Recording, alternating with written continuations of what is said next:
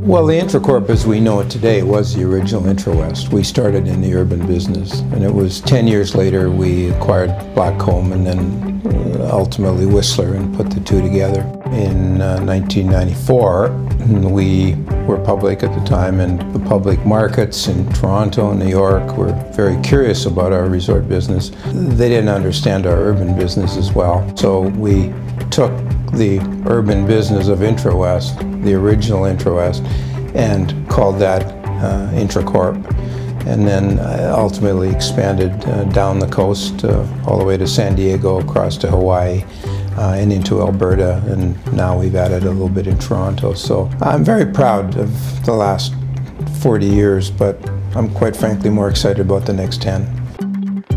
Since I've been at Intracorp, the city in Vancouver, the West Coast uh, real estate market, it's been very dynamic, lots of changes, and I think the Intracorp is growing with it and evolved with it. You know, I'm really excited about the ability to connect our teams across the, the West Coast from what we're picking up in Southern California and Seattle and in Vancouver and share that knowledge. Connecting all those pieces together, I think brings a tremendous benefit to the, to, to the company, to our home buyers, to our partners and people that are involved in our developments.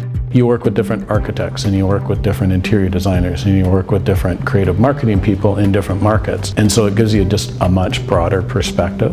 Intracorp's been associated with Covenant House for a long time and we've, we've recently in Vancouver made a commitment to uh, work with them on their housing program which gets you know, the youth that they're helping off the street. It's been uh, a really rewarding experience to be involved with them and see the good work they do. Building the extraordinary, it's creating something that's innovative, it's creating something that's great. How do we make this community extraordinary? What's, what, what's it gonna be? It's, you know, the way you feel when you come in the office or, or, or, when you walk in the lobby of a building. We wanna create unique communities. We don't want to commoditize things. We don't want to do the same project over and over.